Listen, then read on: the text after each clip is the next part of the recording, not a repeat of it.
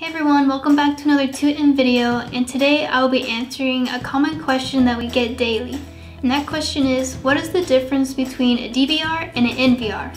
As you can see, I have two recorders sitting next to me. One is a DVR and the other is an NVR. You are probably familiar with these two terms because they are used in the CCTV industry to record and capture video signals from your camera.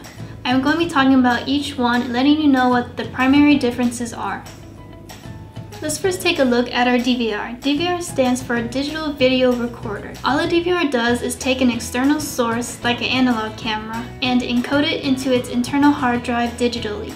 DVRs are used to capture the incoming video signal from cameras using coax cables, connected to the ports on the back of the DVR.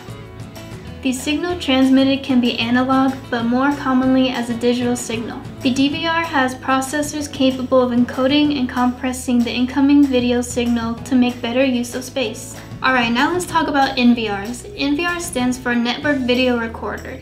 The biggest difference between NVRs and DVRs is that NVR can only work with IP cameras. They cannot take analog or digital video signal from a coax camera.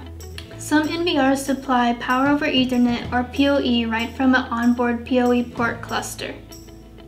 Unlike DVRs, the majority of NVR's processing system to encode video data and compress it does not take place on the NVR. IP cameras usually do their own data compression and encoding, then sends the data to the NVR to be recorded to its hard drives.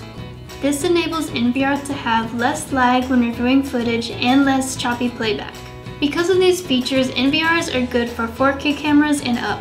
Well, those are the primary differences between DVR and NVR. I hope you found this video helpful, and if you did, please subscribe and leave a like, and leave a comment down below if you have any suggestions on what videos we can make next. I'll see you guys next time.